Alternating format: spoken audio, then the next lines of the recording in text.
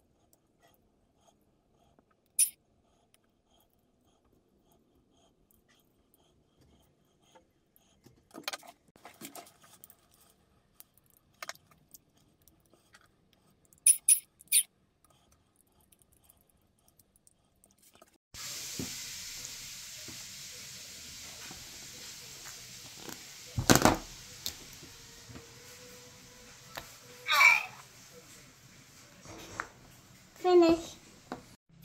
Right, shall we get some ice cream? Yes!